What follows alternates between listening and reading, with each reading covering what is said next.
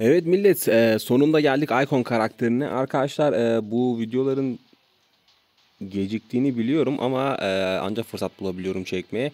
E, çünkü bu karakterleri kasması falan da biraz e, sürüyor. Çünkü Gladiator karakteri gibi karakterler bayağı malzeme yiyor. Altın falan da kalmadı zaten hesapta ancak kasabildim. E, arkadaşlar bir bakacağız. Bu Icon karakteri ne kadar iyiymiş. Hem PvE hem PvP'de test edeceğiz. Bu videoda daha sonrasında videoyu yavaştan bitireceğiz. Diğer karakterlerin videosu da gelmeye devam edecek. Şöyle bir başlayalım.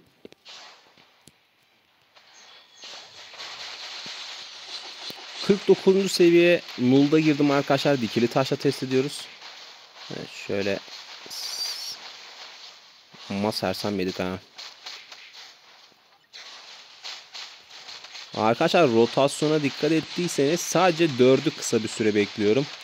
Daha sonra yani 3, 4, 5 yapıyorum. 4'ü sadece biraz bekliyorum. 4'te de böyle yukarı doğru zıpladığı anda 5'e basabilirsiniz. 6. yetenek varken de direkt 6 ile başlayıp hızlı bir şekilde iptal edip 3, 4, 5 yapıyorum gene. Bakalım Null'u tamamlayabilecek miyiz? 49. seviye fena bir seviye değil. Yani umarım tamamlayabilir. Onu da göreceğiz. Kafese kaldık bu arada.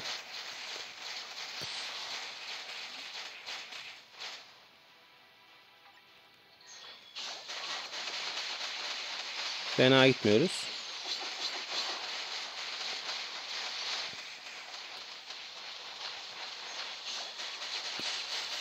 Arkadaşlar karakterin oldukça hasar dostu bir karakter olduğunu söyleyebilirim. Yani normal bir dikili taşla, hasar atışlı bir dikili taşla e, ya da enerji CTP gibi CTP'lerle de oynayabilirsiniz karakteri.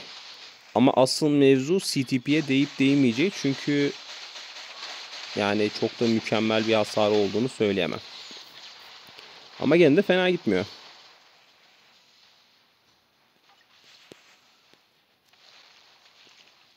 Yani özellikle yeni oyuncuların işine yarayabilir. Çünkü arkadaşlar bu karakter hem ücretsiz biyometrini normal bir şekilde elde edebiliyorsunuz biyometrik seçiciden. Hem de kasması da çok zor değil.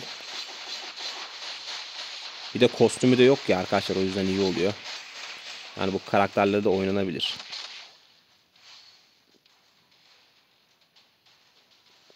Tabi bana soracak olursanız ben yeni bir oyuncu olsaydım benim tercihim genelde şey olurdu. Miss Marvel gibi karakterler olurdu. Onlar çok sağlam. Yani özellikle Miss Marvel çok sağlam. Yani bir kostümünü alırsınız.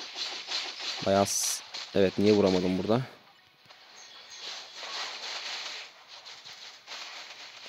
Evet şurada bir sonraki faza geçseydik iyi olurdu.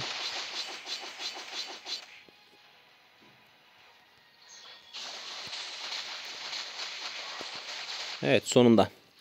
Sonunda bir sonraki faza geçebildik.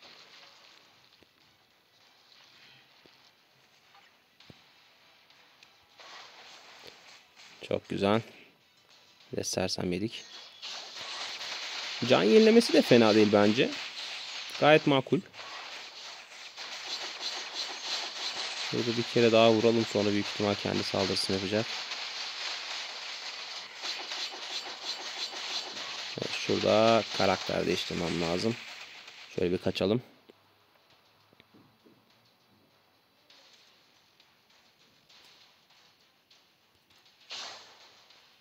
Evet bu iyi olmadı.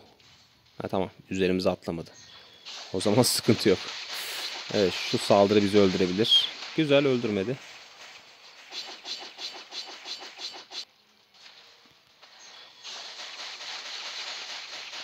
Ejderha fazına geldik. Şöyle bir kere daha vurabilirsek güzel olur ama.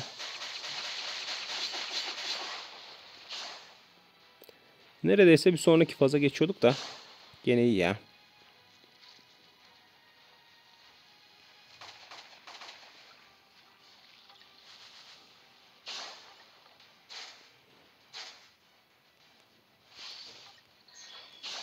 Şöyle son faza geçersek. Güzel.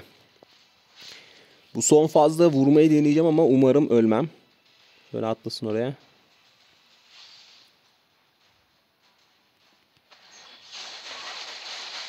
Evet. Vurduktan sonra kaçacağım. Evet bitirdik sayılır ya.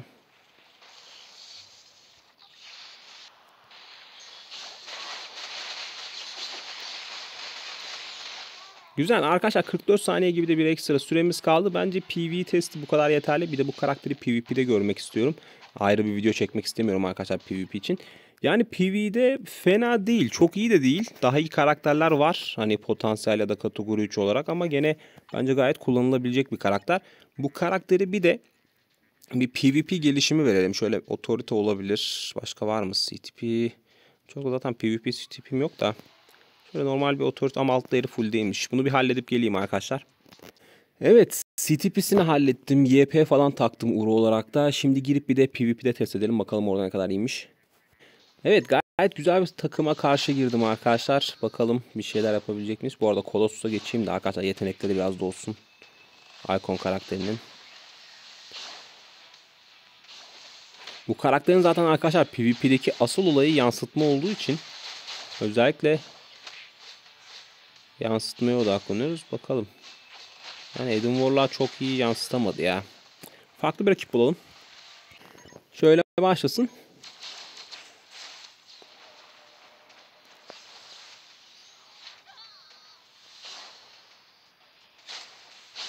Evet.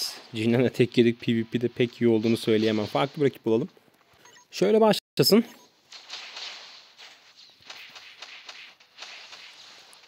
Evet Wasp öldükten sonra güzel yansıtmadan bir tur aldık Jean'i. Bir daha alabilir miyiz? Evet bir daha aldık ama neredeyse ölecektik. Evet Adam Warlock'ta öldük. Son bir rakip daha bulalım arkadaşlar. Evet şöyle başlasın.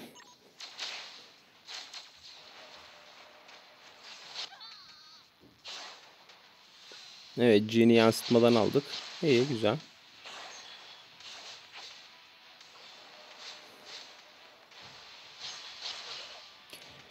Evet arkadaşlar bu kadar test yeterli. Bir de takım kısmına dönelim. Şimdi ilk olarak bir karakterin gelişiminden bahsedelim. Kostüm yok arkadaşlar zaten e, özel ekipman olarak otorite CTP taktım. E, gelişmemiş otorite CTP. Artefaktı henüz yok.